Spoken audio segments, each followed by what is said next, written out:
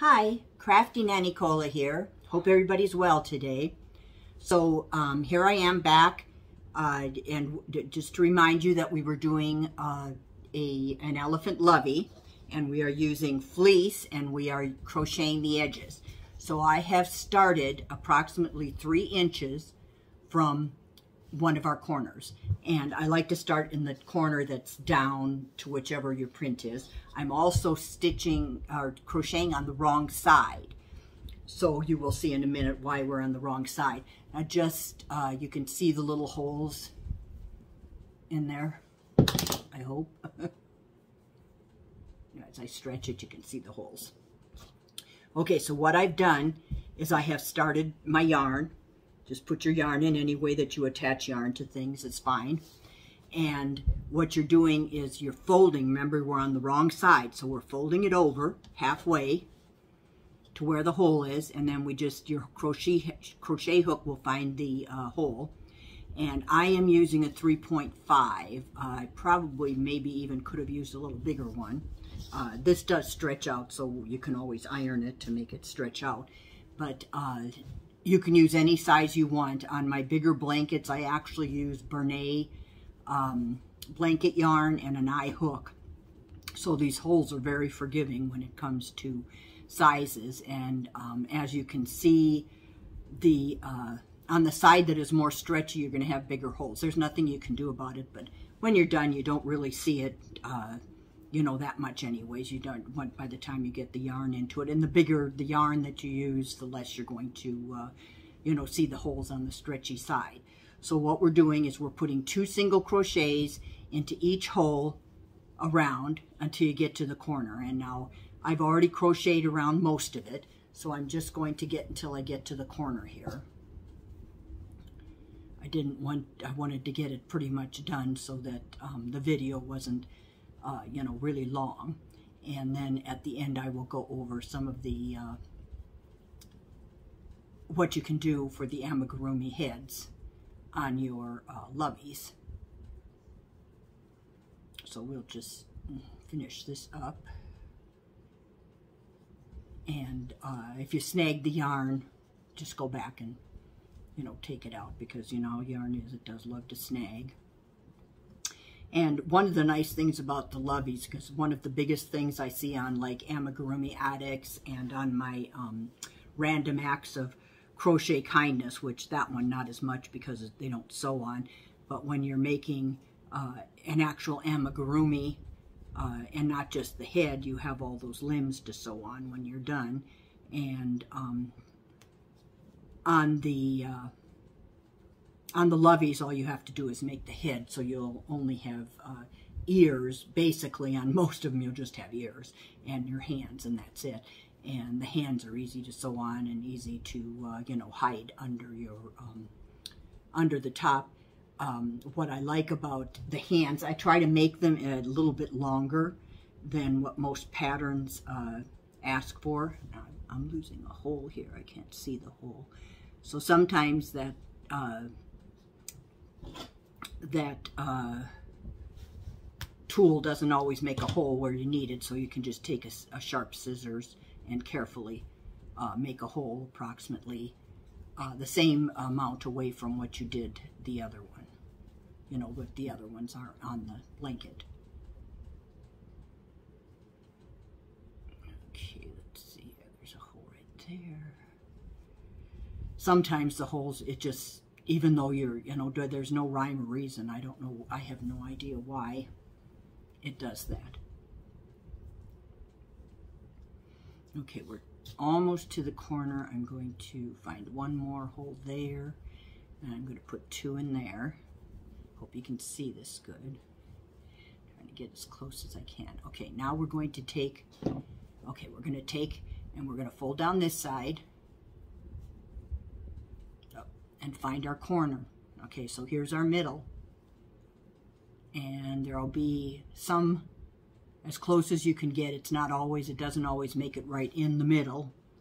Uh, one of the things that you can do, and I do on my bigger blankets, is I don't make the holes on the on this. I only go so far, and then I stop, and then I just make the holes as I, I need on my bigger blankets.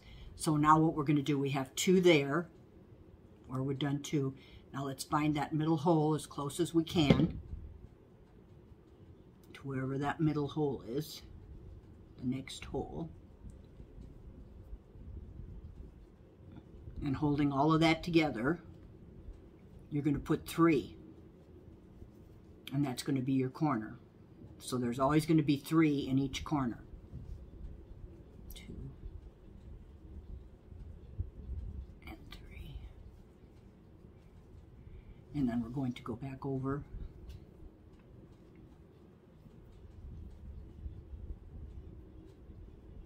and find the closest one there. There we go. I knew it was there somewhere. And then we're going to, so try to hold that uh, fabric to the back of your work. You could pull it back afterwards, but it's just a little bit easier towards towards that when you can get it to go back while you're crocheting. Let's find that next hole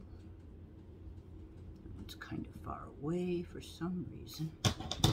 So for some reason this corner didn't make the best. Just try to do just the tip if you do have to make a hole. Just be really careful. Don't don't press too much, not much pressure on the scissors. Just make that tiny hole. Before I got that little tool, I was actually making all those holes myself. And I tried paper punches and all these different things and nothing really did it. And I, I ended up actually using a scissors and uh, it was taking me a really nice long time. it was not fun. So here we are. We have just a few here to go until we hit the beginning.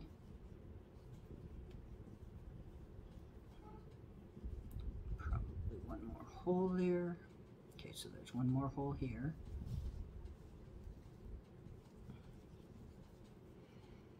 Okay, now, don't see any other holes. So what we're going to do now is we are going to go into that first uh, stitch, which is either a single crochet if you did the, uh, I'm actually going to put another little stitch, I think, in there because there's a little bit, a lot of it right there.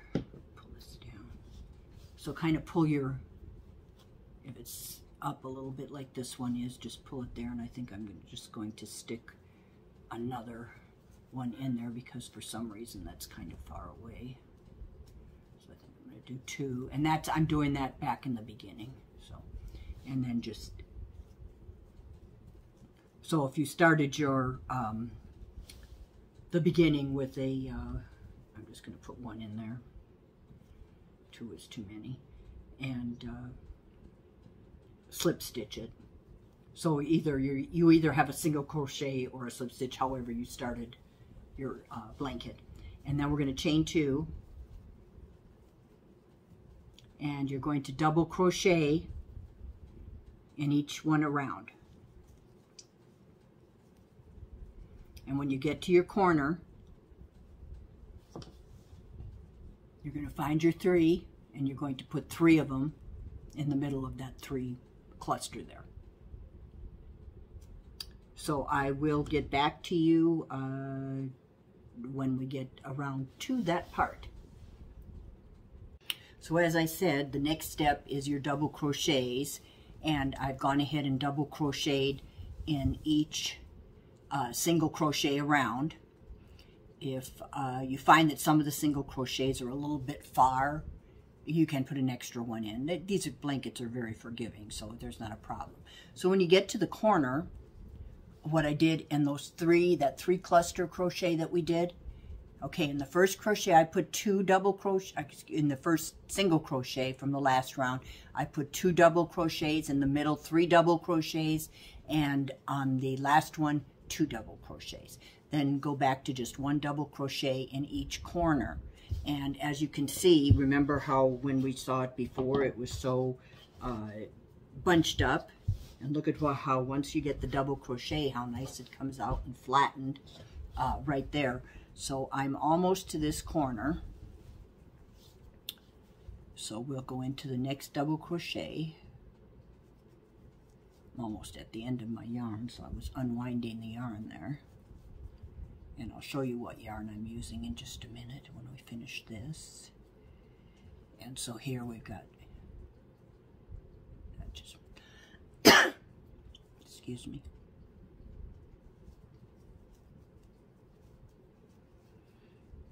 And we got, that looks like that is. Okay, so here we are in the three cluster.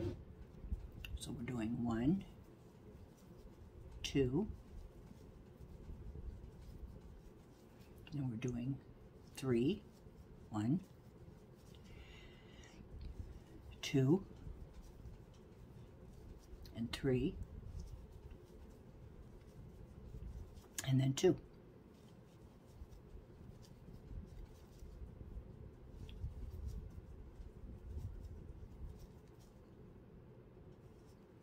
And then back to one.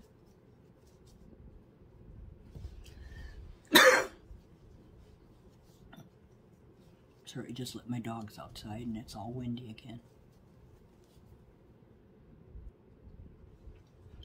So here we are at the last uh, double crochet. So I have back to my chain. I think I'm going to put an extra double crochet right there.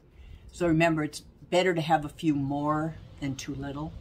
And then I'm going to uh, connect it, slip stitch, to the top of the chain two. Now at this point, you need to decide, are you just going to continue with this color? And of course you can use three different colors if you want to. You can use one for the single crochet. You can use it to match, uh, you know, like I could have used a gray or a silver. And um, at this point you can either uh, do any edging you want. There's, uh, you can do a single crochet uh, and then uh, single crochet, half double crochet. So we've slip stitched here. I'll show you what that one is. And you can change colors here. So single crochet, half double crochet in the next, double crochet, half double crochet, and a single crochet. Now that's just going to give you a little bump. And you can do that all over and do the edge there. I just do uh, a chain three. I do a chain three, one, two, three, skip one, and go into the next one. And I do that all around, but I am going to do that with silver so that it's the same as the other. So that's that's the blanket, and then you're when the front you will see just pull any little things and you can cut these little things like this off at the edge if you have it sticking out. And just kind of tuck it under there. And of course don't forget to tuck in your yarn. I just I bring it to the back this piece here. Just bring it through the hole to the back. And then wind it in with a needle. So there,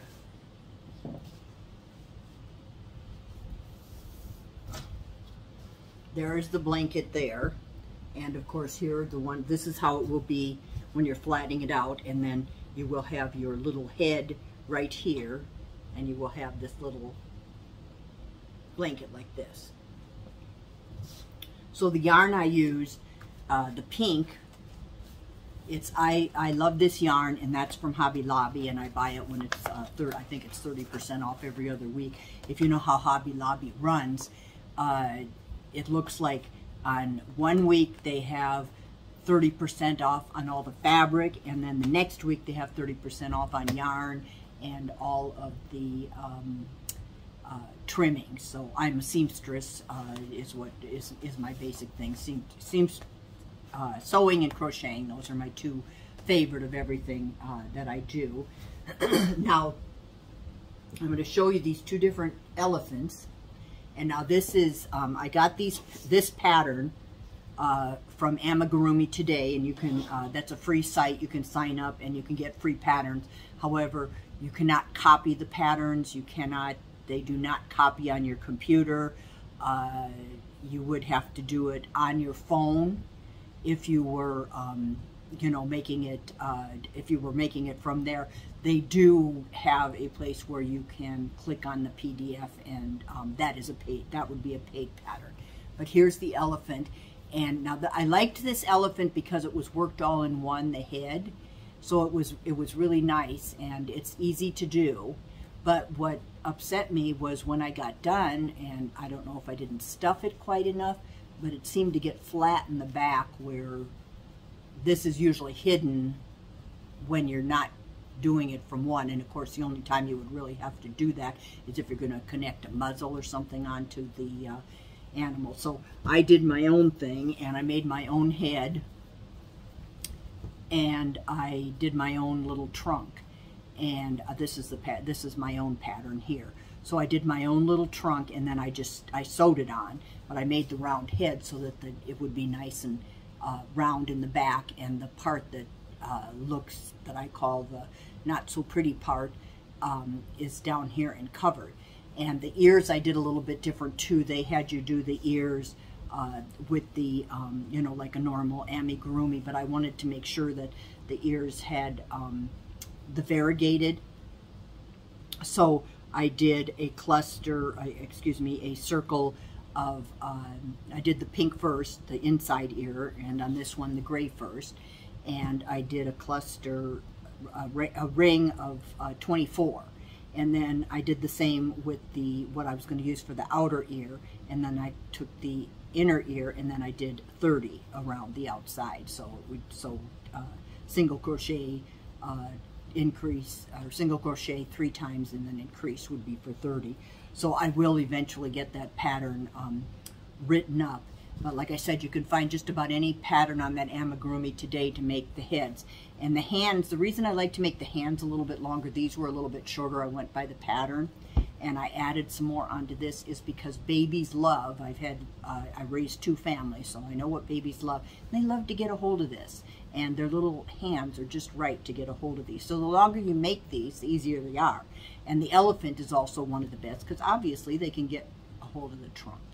So if you have any questions or uh, comments, you can leave them down, uh, or any questions, you can leave them down in the comments section. And um, I hope you enjoyed this video and I hope this helped out. And um, as far as the amount of yarn, uh, just use leftover yarn for this project. It doesn't take a lot of yarn. So I hope you have a wonderful day and I hope this helped.